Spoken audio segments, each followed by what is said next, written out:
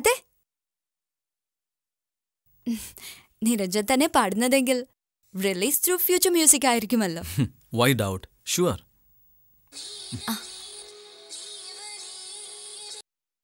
hello Rosemary speaking ഞാൻ മഹാദേവ്.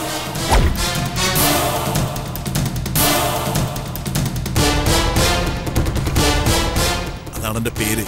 മനസ്സിലായില്ല. അത് വഴിയേ മനസ്സിലായിക്കോളും. തൽക്കാലം ഞാൻ പറയുന്ന കാര്യം നടക്കാൻ പോകുന്നതാണെന്ന് മാത്രം റോസ്മേരി മനസ്സിലാക്കിയാൽ മതി. ഹു ആർ യു ആരാ? റോസ്മേരിയുടെ വിവാഹം നിരഞ്ജനായിട്ട് ഉറപ്പിച്ചിരിക്കല്ലേ ആണെങ്കിൽ? ആണെങ്കിൽ അത് നടക്കില്ല. അത്ര തന്നെ. അതിനുള്ള യോഗം നിങ്ങൾക്ക് കാണുന്നില്ല ആരാ നിങ്ങൾ? എന്താ നിങ്ങൾക്ക് വേണ്ടത്? പറഞ്ഞില്ലേ ഞാൻ മഹാദേവൻ നിരഞ്ജന്റെ നാട്ടുകാരൻ. സമയമാകുമ്പോ നമുക്ക് നേരിട്ട് കാണാം. Okay hello? ആരായിരുന്നു? ഒരു റോങ് നമ്പർ ഓ ഓക്കെ എന്നാ ഞാൻ ഇറങ്ങാം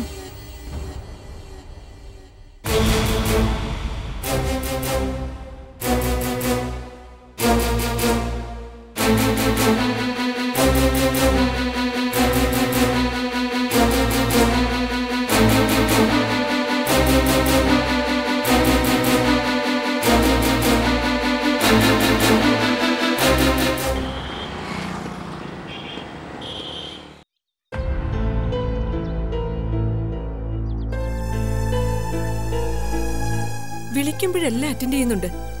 പക്ഷേ പറയുന്ന കാര്യത്തിൽ മാത്രം മാറ്റമില്ല. നിരഞ്ജൻ സാറും മാമും തമ്മിലുള്ള വിവാഹം നടക്കില്ല. ആരെ എന്താന്ന് ചോദിച്ചാൽ അപ്പ കട്ട് ചെയ്യും ഫോൺ. ഇതേതോ ഫ്രോഡ് കേസാണെന്ന് എനിക്ക് തോന്നുന്നത് ഒരു പേഴ്സണൽ അസിസ്റ്റന്റ് ആയിട്ട് മാത്രമല്ല ഞാൻ യമുനെ കാണുന്നത്. അതുകൊണ്ടാണ് എന്റെ പേഴ്സണൽ മാറ്റേഴ്സ് പോലും ഞാൻ നീയുമായി ഡിസ്കസ് ചെയ്യുന്നത്. എന്നിട്ടും നീ അതിന്റെ സീരിയസ്നെസ് ഉൾക്കൊള്ളുന്നില്ല എന്ന് പറയുമ്പോൾ എനിക്ക് വിഷമമുണ്ട് യമുന. എനിക്കറിയാം. നിരഞ്ജൻ സാറും മാഡവും തമ്മിലുള്ള ബന്ധം. ആരെങ്കിലും എന്തെങ്കിലും ഫോൺ ചെയ്തു പറഞ്ഞു എന്ന് കരുതി അത് തകരുമെന്ന് വിശ്വസിക്കരുത്. അല്ലെങ്കിൽ തന്നെ മാഡത്തിന്റെ ഭാഗത്തുനിന്ന് ഒരെതിരായ തീരുമാനം ഉണ്ടായിട്ടില്ലെന്ന് മാഡത്തിന് തന്നെ അറിയാം. പിന്നെന്താ? നിരഞ്ജൻ സാറിന്റെ ഭാഗത്തുനിന്നാണോ മാഡം അങ്ങനെ പ്രതീക്ഷിക്കുന്നത്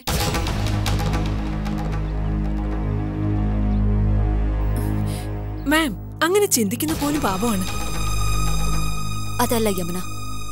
ഞാൻ കുറെ ദിവസമായി ശ്രദ്ധിക്കുന്നത് നിരഞ്ജനെ. എന്തോ ഒരു ചേഞ്ച് ഉണ്ട്. എപ്പോഴും ഒരു ആബ്സെന്റ് മൈൻഡും ചിന്തയും. എല്ലാ പ്രശ്നങ്ങളും തുറന്നു പറയുന്ന എന്നിൽ നിന്ന് പോലും എന്തോ മറയ്ക്കുന്നുണ്ട്.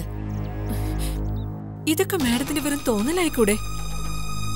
നിനക്കറിയോ യമുന? നാല് സോങ്ങാ ഇന്ന് റെക്കോർഡ് ചെയ്യാനുണ്ടായിരുന്നത്.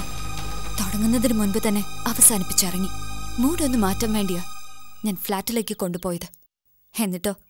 ഒന്ന് കേൾക്കാൻ പോലും കൂട്ടാക്കാതെ പോയി. ഇതിനെന്താ എന്താ ഞാൻ മനസ്സിലാക്കേണ്ടത്?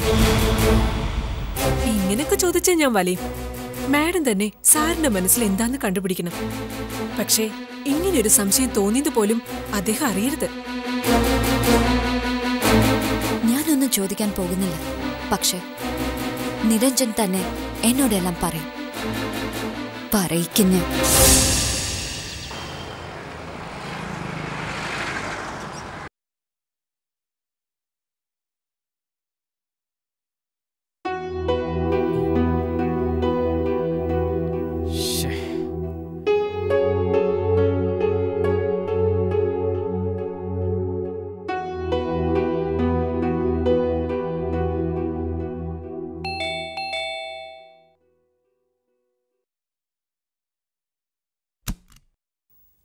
ഹായ് നിരഞ്ജൻ എവിടെയോ പോകാൻ ഒരുങ്ങാന്ന് തോന്നുന്നു. ആ. ഞാൻ ആ ലൈബ്രറി വരെ ഒന്ന് പോകാൻ തുടങ്ങുകയായിരുന്നു. പഴയ റീഡിംഗ് ഹാബിറ്റിലേക്ക് തിരിച്ചു വരണമെന്നൊരു മോഹം തോന്നി. ബാ ഇരിക്ക. ഗുഡ് പക്ഷേ can you spare some time for me എന്താ റോസ് ഒരു formality?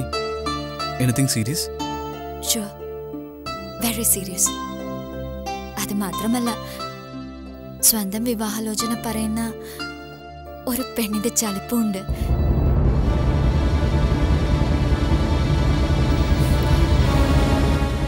If you don't mind ഞാൻ സ്ട്രൈറ്റ് ആയിട്ട് തന്നെ കാര്യം പറയാം.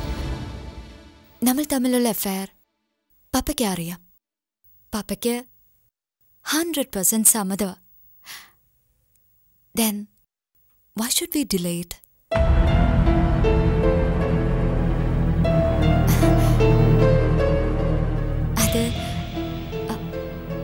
ചടങ്ങ് നമുക്കതങ്ങ് നടത്തിക്കൂടെ?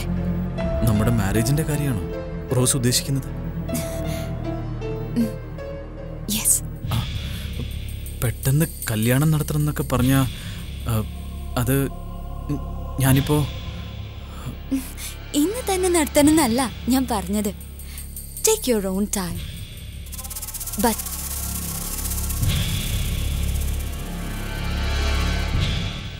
അതിനു മുൻപ് ഒരു എൻഗേജ്മെന്റ് എന്ത് പറയുന്നു?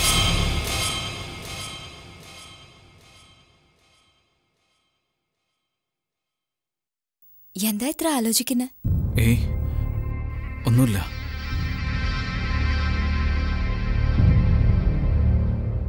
പിന്നെ? Okay okay. I agree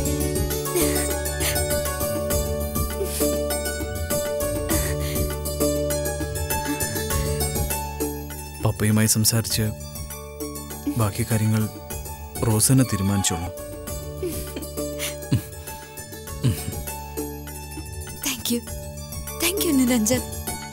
then Rose ഒന്ന് വെയിറ്റ് ചെയ്യാം. വിത്തിൻ ഹാഫ് ആൻ അവർ ഞാൻ എത്താം. നിരഞ്ജൻ നിരഞ്ജന്റെ പുതിയ വാച്ച് എവിടെ? ഓ അത് ഞാൻ എവിടെയോ മിസ്സായി തോന്നുന്നു. ഇവിടെ ഒന്നും കാണുന്നില്ല. എത്ര സില്ലയായിട്ട് നിരഞ്ജൻ മിസ്സായെന്ന് പറയുന്നത്? എത്ര കോസ്റ്റ്ലി അറിയോ എവിടെ ഊരി വെച്ചെന്ന് ഓർക്കുന്നില്ല ഞാൻ. അതാ. നിരഞ്ജന് മറക്കാം. ബട്ട് എനിക്കത് പറ്റില്ല. നിരഞ്ജന് തരാൻ വേണ്ടി ഒരു ബർത്ത്ഡേ ഗിഫ്റ്റിന് സ്വിറ്റ്സർലൻഡ് വരെ ഞാൻ പോയി വാങ്ങിയതാ. എത്ര നിസ്സാരമായിട്ടാ നിരഞ്ജൻ അതിനെ ഹാൻഡിൽ ചെയ്തത്.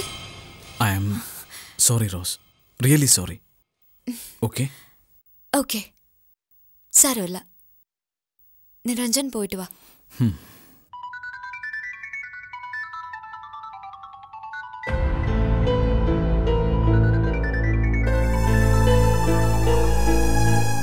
ഹലോ. സർ ഞാൻ ഉണ്ണിമായാണ് എന്താ? വിളിച്ചത്? അത് സാറിന്റെ വാച്ച് അത് സാർ ഇവിടെ വെച്ച് മറന്നുപോയി. വിലാസം എന്തെങ്കിലും തന്ന പാഴ്സൽ ചെയ്യോ മറ്റോ ചെയ്യായിരുന്നു. ഇത് ഇത് എന്താ ചെയ്യേണ്ടത്? അത് അത് താൻ തന്നെ സൂക്ഷിച്ചോളൂ. തന്റെ കയ്യിൽ ഇരുന്നോട്ടെ അത്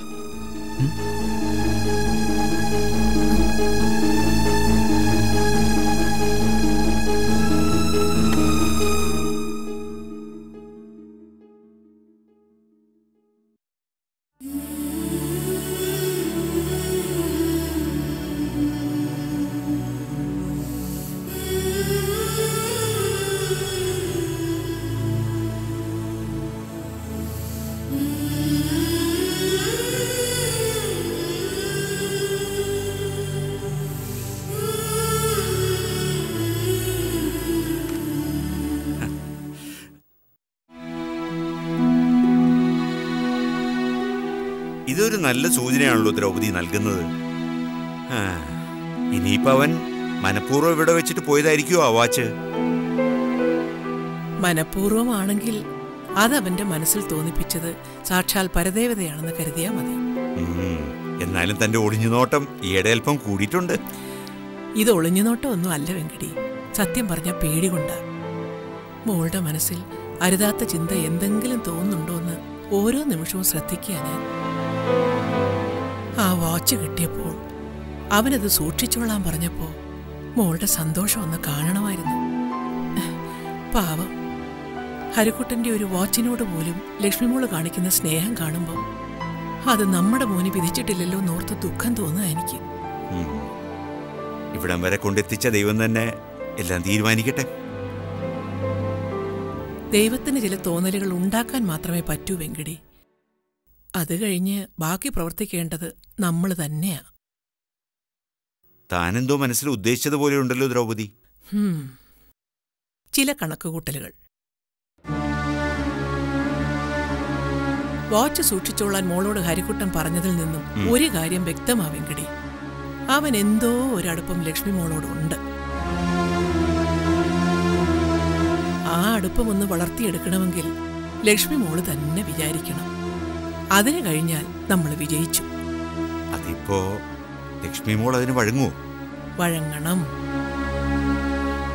ആവശ്യം നമ്മുടേതാണ് വെങ്കിടി. അതുകൊണ്ട് ലക്ഷ്മി മോളെ കൊണ്ട് തന്നെ ഹരിക്കുട്ടനെ തിരിച്ചു പിടിക്കുക എന്നതായിരിക്കണം നമ്മുടെ ലക്ഷ്യം.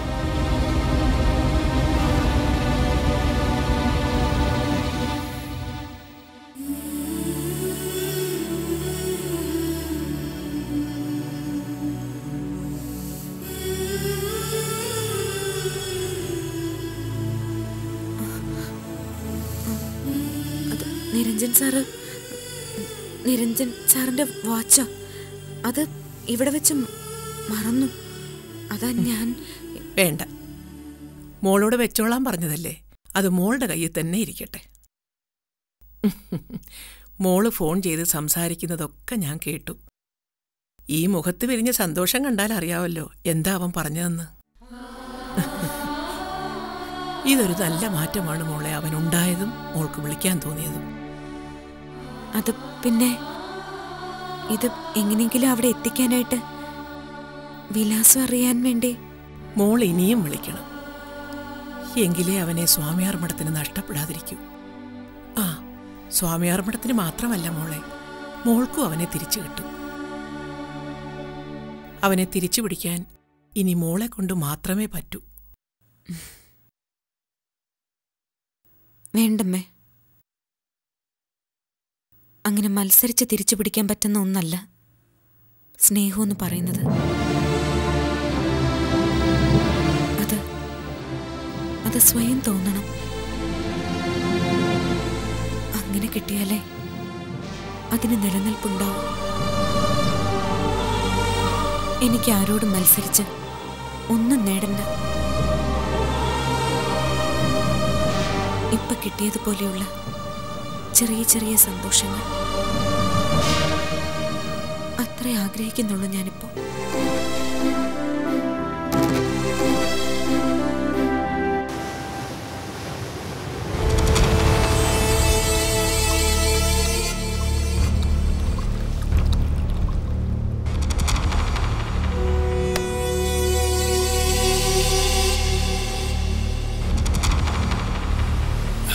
ഒരുപാട് നാൾ ഞാൻ ഇങ്ങനെ ഒന്ന് വന്നിരിക്കുന്നു വെറുതെ കുടിക്കാൻ വേണ്ടിയുള്ളൊരു കുടിയല്ല ഇത്? മനസ്സ് സന്തോഷം കൊണ്ട് നിറഞ്ഞു കവിയുമ്പോൾ ശരീരത്തിന് നമ്മൾ കൊടുക്കുന്ന ഒരു സമ്മാനം. ആ അതാണ് ഇന്ന് എനിക്ക് സോമരസം. വന്നേ പറ്റൂ കണ്ടേ പറ്റൂ എന്ന് പറഞ്ഞപ്പോ ഞാൻ കരുതി എന്തിനോ വളരെ വലിയ അത്യാവശ്യമായിരിക്കും. അതേടോ എന്റെ മുന്നിൽ അത്യാവശ്യകാരൻ തന്നെയാണോ? എന്റെ ഈ ആഹ്ലാദത്തിന് കാരണക്കാരൻ എന്റെ പ്രിയ സുഹൃത്തിനോട് ട്രീറ്റ് തരണമെന്നൊരു മോഹം. അത് തെറ്റായി പോയോ ട്രീറ്റിന്റെ തെറ്റ് ശരിയൊക്കെ അവിടെ നിൽക്കട്ടെ. നമ്മുടെ പരിപാടികൾ. ഏതുവരായെന്ന് പറ പരിപാടികൾ വൻ വിജയമായി തീർന്നു എന്ന് പറഞ്ഞാൽ തന്നെ അത് കുറഞ്ഞു പോകും. മഹാദേവന്റെ സ്വപ്നങ്ങളിലേക്കുള്ള ദൂരം കുറഞ്ഞു കുറഞ്ഞു വരികയാണോ നൗല തന്നെ. എന്റെ ഈ യുദ്ധം ഇനിയൊന്നും നേടാനല്ല. എനിക്ക് നേടാൻ കഴിയാത്തൊന്നും മറ്റൊരുത്തിനും നേടാതിരിക്കാൻ വേണ്ടിയാ. നീ നോക്കിയോ നൗല? അധികം വൈകാതെ സ്റ്റാർ ഹോട്ടലിന്റെ റോയൽ സ്യൂട്ടിൽ നമ്മൾ വീണ്ടും കാണും. എന്റെ അന്തിമ വിജയം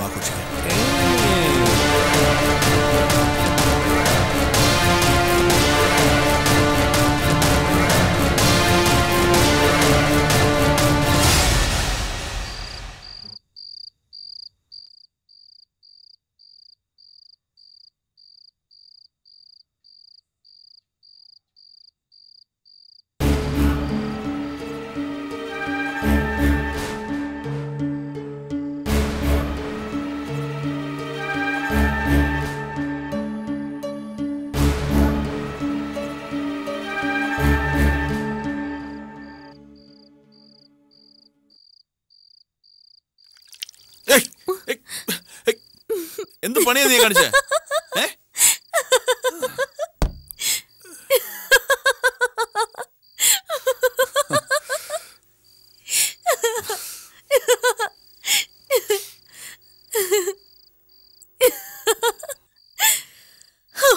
ആശ്വാസായി. അല്ല ഈ വെള്ളം എടുത്ത് മുഖത്ത് തെളിച്ചതിന് എന്നെ തല്ലുമെന്നാ ഞാൻ കരുതിയത്. ഒന്ന് ചിരിച്ചു കണ്ടല്ലോ. അതെ ഇത്ര സോഫ്റ്റ്നെസ് ഒക്കെ ഉണ്ടോ മഹാദേവന്റെ മനസ്സിൽ ഈ മഹാദേവൻ ആൾ വെറും ഒരു പാവാ. പിന്നെന്തോ ഇങ്ങനെയൊക്കെ ആയിപ്പോയി. ഉറക്കെ ചിരിക്കും ഞാൻ. പക്ഷേ അത് മറ്റുള്ളവരുടെ ആപത്ത് കാണുമ്പോ ആണെന്ന് മാത്രം. എനിക്കറിയാം. എന്താ ഈ മനസ്സ് ഇങ്ങനെ ആയി ആയിപ്പോയതെന്ന്. ആത്മാർത്ഥമായിട്ട് സ്നേഹിക്കാൻ ആരും ഇല്ലാതിരുന്നതിന്റെ ദോഷ ഇത് ഇപ്പോ ആ കുറവ് ഞാൻ നികത്തുന്നില്ലേ? അതുകൊണ്ടാവും ഇപ്പൊ ദേഷ്യം വരാത്തത്. മാറ്റും ഞാൻ എന്റെ ദേവേട്ടനെ. മനസ്സ് നിറയെ സ്നേഹമുള്ള ഹൃദയം നിറയെ പ്രേമമുള്ള ഒരാളാക്കി മാറ്റും ഞാൻ.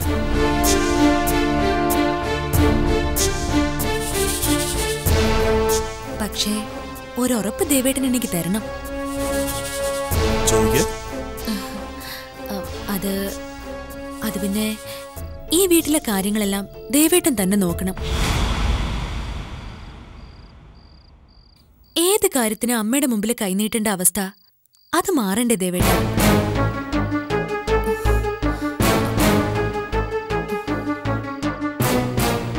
കുറെ നാളായി ഞാനത് എല്ലാം കൈയടക്കി വെച്ചിരിക്കുന്ന അമ്മയുടെ ഈ അധികാരഭാവം മാറ്റിയേ പറ്റൂ. എനിക്ക് അവകാശപ്പെട്ടതെല്ലാം അപ്പൊ പിന്നെ അത് കൈകാര്യം ചെയ്യാനുള്ള അവകാശം എനിക്ക് വേണ്ടേ? ഇതാ ഈ ദേവേട്ടന്റെ കുഴപ്പം. ഞാൻ പറഞ്ഞോ അമ്മയുടെ ഇന്നെല്ലാം പിടിച്ചു വാങ്ങാൻ. മാസാമാസം തരുന്ന ചില്ലറ കൊണ്ട് ജീവിക്കാൻ ഞാൻ ഇവിടുത്തെ ശമ്പളക്കാരനൊന്നുമല്ല. അയ്യോ പതുക്കെ. ദേവേട്ട അമ്മ കേട്ട എന്താ വിചാരിക്ക? ഈ വീടിന്റെ ഭരണം പിടിക്കാൻ വേണ്ടി ഞാൻ തലേണ മന്ത്രം പറഞ്ഞു എന്നല്ലേ കരുതൂ ഇതിപ്പോ നീ പറഞ്ഞിട്ടൊന്നുമല്ല. അല്ലെങ്കിൽ തന്നെ ഭാവം പറഞ്ഞോ? എന്നോടെല്ലാം പിടിച്ചു വാങ്ങാൻ. കുറെ നാളായിട്ട് മനസ്സിൽ കൊണ്ട് നടക്കായിരുന്നു ഞാൻ ഈ ചിന്ത. എല്ലാം വച്ചുപൂട്ടി ഇടുപ്പിൽ തിരിക്കൊണ്ട് നടക്കുന്ന ആ താക്കോൽ കൂട്ടുണ്ടല്ലോ ഇനി അതവിടെ ഇരിക്കുന്നത് ഭദ്രമല്ല. എനിക്കും വേണ്ടേ ഒരു പിൻബലം?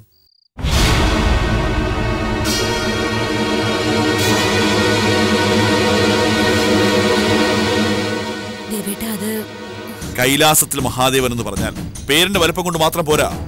പണം കൊണ്ട് വലുതായിരിക്കണം. നീ അത് വച്ച് താമസിപ്പിക്കില്ല. നാളെ തന്നെ ഒരു തീരുമാനം ഉണ്ടാക്കും ഞാൻ.